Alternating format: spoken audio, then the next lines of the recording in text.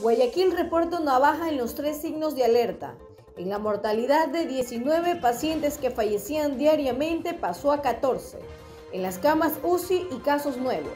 Así lo comenta el doctor Carlos Salvador, el director de salud del municipio de Guayaquil. Disminuido, por ejemplo, la mortalidad de 19 pacientes que fallecían eh, a 14. La ocupación de camas UCI, por ejemplo, ha disminuido de 190 a 162 aproximadamente se ha disminuido algo así como 1.200 pacientes menos por semana. Todo esto debería darnos un, un, tanto de alivio y alegría.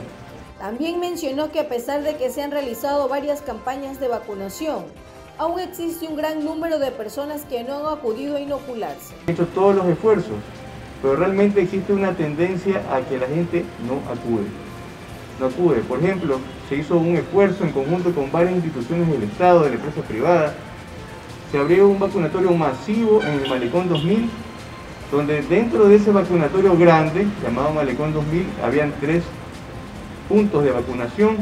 Esperábamos por lo menos por día tener 6.000 personas y la suma de los dos días no llegó ni a 550 personas. Las autoridades recomiendan a la ciudadanía no descuidarse pese a la baja que se ha registrado en esta quinta semana del informe epidemiológico.